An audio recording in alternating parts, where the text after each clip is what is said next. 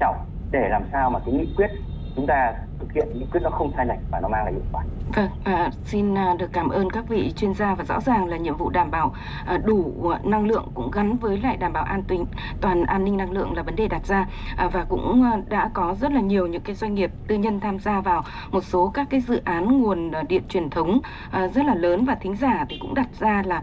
ví dụ như là tập đoàn Tân Tạo đã tham gia vào những cái dự án nhiệt điện như là Kiên Lương nhưng mà cũng đang gặp rất là nhiều các cái vướng mắc và nhiều quan điểm thì cho rằng là doanh nghiệp tư nhân à, đưa ra rất là nhiều những cái ờ, mục tiêu nhưng mà lợi ích kinh tế thì cũng vẫn là cái mục tiêu hàng đầu. Và nếu như mà để doanh nghiệp tư nhân đầu tư vào các dự án năng lượng quan trọng mà trong các cái trường hợp thay đổi về uh, các cái chính sách hay là uh, giá cả vật tư thì uh, rất dễ dẫn đến cái việc là uh, bỏ hoặc hủy các cái dự án thì phải làm như thế nào để ràng buộc và tránh những cái rủi ro cho hệ thống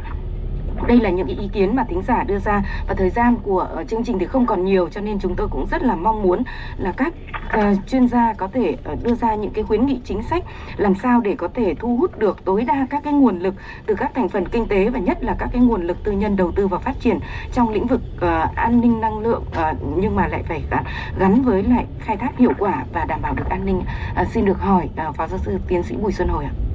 Tôi thì có, vì là thời gian không còn nhiều nên tôi sẽ rất ngắn gọn thôi. Thứ nhất là chúng ta phải lựa chọn những cái khu vực mà nó đảm bảo có một cái xác suất là chúng ta tư nhân hóa thành công nhiều nhất. Tôi cho rằng hiện nay đấy là phần nguồn. Thứ hai nữa là chúng ta có phải có hai cái sự chuẩn bị. Sự chuẩn bị thứ nhất là những hành lang pháp lý để cái việc là tư nhân hóa trong lĩnh vực cung cấp năng lượng là nó được rào kín, tức là nó đầy đủ những cái hành lang pháp lý để để để mà cái người đầu tư tư nhân người ta yên tâm và thứ ba là các cái cơ chế hỗ trợ nó phải đảm bảo cái tính uh, là gì? Nhà đầu tư tư nhân người ta nhìn cơ chế hỗ trợ người ta thấy là gì? À, à làm được là có lợi nhuận thì chúng ta mới thu hút được đầu tư tư nhân. Nếu không chúng ta sẽ không thành công. Và những cái chính sách hỗ trợ như thế nó phải có tính chất liên tục và dài hạn. Tránh cái câu chuyện như anh Huân đề cập là gì? Đến một năm nay chúng ta chưa có giá điện mặt trời hoặc là năm sau 2021 giá điện gió thì như thế nào? Đấy là những cái mà tôi cho rằng là cần phải có sự chuẩn bị để đầu tư tư nhân trong lĩnh vực năng lượng thành công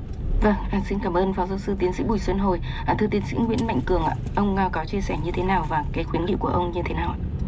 À, vâng, về, về vấn đề đầu tư cho các nguồn điện lớn ấy, thì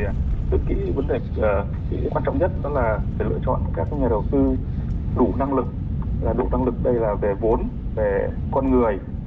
bởi vì là các cái nhà thu đầu tư đấy thì người ta mới có năng lực để làm đúng hạn chứ còn uh, một số cái doanh nghiệp ờ, vừa rồi đấy, thì thực tế cho thấy là một số doanh nghiệp tư nhân làm nhưng mà với cái năng lực hạn chế thì làm cho cái dự án điện thường xuyên chậm trễ và ảnh hưởng rất lớn đến an ninh năng lượng. Thì rất mong là phụ sẽ đưa ra các cái cơ chế chính sách để có thể sàng lọc được các cái nhà đầu tư chất lượng và cho phép tham gia đầu tư vào trong uh, nguồn điện cũng như là các cái hệ thống khác trong cái chuỗi uh, cung cấp năng lượng. À, vâng ạ, à, xin được cảm ơn à, à, tiến sĩ Nguyễn Mạnh Cường. Thưa quý vị và các bạn, 45 phút của diễn đàn chủ nhật tuần này với chủ đề khuyến khích kinh tế tư nhân tham gia phát triển năng lượng, những vấn đề đặt ra tại nghị quyết 55 của Bộ Chính trị à, về chiến lược à, phát triển năng lượng quốc gia của Việt Nam đến năm 2030 và tầm nhìn đến năm 2045. Đến đây là hết và một lần nữa chúng tôi xin được trân trọng cảm ơn hai vị khách mời là Phó giáo sư tiến sĩ Bùi Xuân Hồi, giảng viên cao cấp Bộ môn Kinh tế Công nghiệp, Trường Đại học Bách khoa Hà Nội và tiến sĩ Nguyễn Mạnh Cường, Phó trưởng phòng phát triển hệ thống điện, Viện Năng lượng Việt Nam. À, xin được cảm ơn quý vị à, thính giả đã chú ý lắng nghe.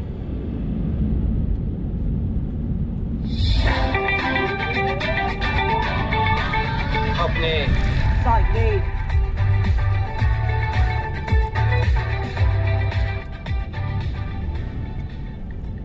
Xin chào quý vị và các bạn. Biên tập viên Hồng Liên rất vui được gặp lại quý vị và các bạn trong chương trình Giỏi nghề tuần này.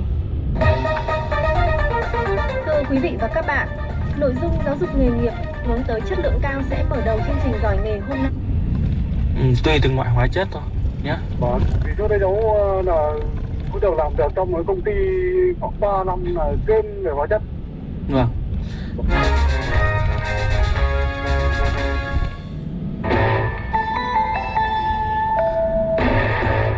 Chào các bạn, mời các bạn cùng tham gia chương trình phát thanh trực tiếp của số tình yêu. Trong ít phút nữa, các chuyên gia tâm lý và bác sĩ của chương trình sẽ trò chuyện trực tiếp với các bạn. Hãy gọi cho chúng tôi qua số điện thoại 024 73 070707 vào tất cả các ngày trong tuần. Phố Hồ Chí Minh phối hợp cùng lực lượng thanh niên xung phong thành phố thực hiện phát sóng vào lúc 9 giờ 30 đến 10 giờ sáng. Ở phê phường, cô trở thành phê. Thoáng ngợp trước một Hà Nội duyên dáng đến như vậy.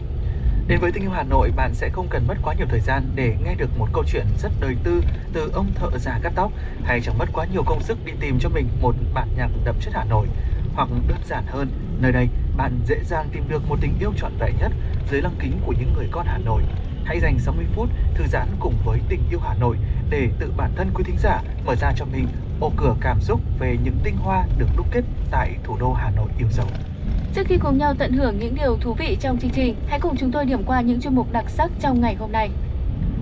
Ấn tượng Hà Nội, nét đẹp văn hóa trong thực hành tín ngưỡng thờ mẫu Việt Nam. Hà Nội mến yêu, nếu một ngày tôi phải xa Hà Nội. Hà Nội trong tôi, nhà hát lớn Hà Nội. Vì tình yêu Hà Nội, người nghệ nhân giữ gìn tinh hoa làng nghề truyền thống. Hà Nội và nghệ thuật, cuốn sách ở Hà Nội. Và không để quý vị thính giả phải chờ lâu thêm nữa, ngay bây giờ chúng ta hãy cùng tới với những thông tin hấp dẫn qua góc nhìn lăng kính Hà Nội.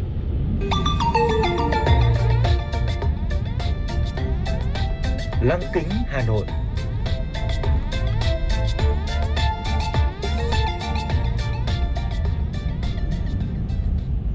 Thưa quý vị, Sở Văn hóa Thể thao Hà Nội vừa khai mạc trưng bày chuyên đề Hà Nội niềm tin và khát vọng vươn cao, thiết thực chào mừng 90 năm ngày thành lập Đảng bộ thành phố Hà Nội 17 tháng 3 năm 1930, 17 tháng 3 năm 2020. Trưng bày với 4 phần nội dung gồm những bức ảnh tư liệu quý về Chủ tịch Hồ Chí Minh với phong trào cách mạng Hà Nội,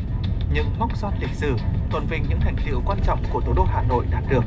niềm tin và khát vọng, giới thiệu những hình ảnh chất lượng về thủ đô, đổi mới và với Đảng trọn vẹn niềm tin yêu cho thấy những nỗ lực quyết tâm mới của Hà Nội trong phát huy truyền thống cách mạng, đẩy mạnh học tập và làm theo tư tưởng đạo đức phong cách Hồ Chí Minh, tinh thần dám nghĩ, dám làm, dám chịu trách nhiệm để đạt được những thắng lợi mới. Với gần 200 tác phẩm, nhiếp ảnh được lựa chọn, những thước phim tư liệu quý cùng nhiều hiện vật giá trị, trưng bày chuyên đề Hà Nội niềm tin và khát vọng vươn cao là hành trình ghi lại những dấu son lịch sử trói lọi trên chặng đường 90 năm lịch sử vẻ vang của Đảng bộ và nhân dân Hà Nội, đồng thời khẳng định những thành tựu ấy sẽ tiếp tục tiếp thêm sức mạnh, niềm tin để Đảng bộ, nhân dân thành phố vững vàng trên con đường xây dựng và phát triển thủ đô, xứng đáng với niềm tin yêu của nhân dân cả nước và bạn bè quốc tế. Trưng bày chuyên đề kéo dài đến hết ngày 20 tháng 3 năm 2020. Ban tổ chức Giải âm nhạc Cống Hiến lần thứ 15 năm 2020 thông báo sẽ không tổ chức họp báo bầu chọn và không tổ chức lễ trao giải như dự kiến. Giải thưởng âm nhạc Cống Hiến do Báo Thể thao và Văn hóa tổ chức. Hàng năm buổi bầu chọn giải thưởng được tổ chức họp báo trực tuyến giữa hai đầu cầu là Hà Nội và thành phố Hồ Chí Minh. Năm nay do tình hình dịch Covid-19 đang tiếp tục có những diễn biến phức tạp, ban tổ chức giải thưởng quyết định không tổ chức họp báo bầu chọn và không tổ chức đêm trao giải như dự kiến. Thay vào đó, ngày 19 tháng 3, ban tổ chức sẽ gửi phiếu bầu qua email để các phóng viên bầu chọn. Dự kiến ban tổ chức sẽ có buổi gặp mặt 9 đề cử đoạt giải của 9 hạng mục để trao cúp cho các nghệ sĩ vào ngày 25 tháng 3. Đây là lần đầu tiên trong lịch sử 15 năm của giải âm nhạc Cống Hiến, việc bầu chọn được thực hiện bằng hình thức online và trao cúp cho nghệ sĩ mà không có lễ trao giải.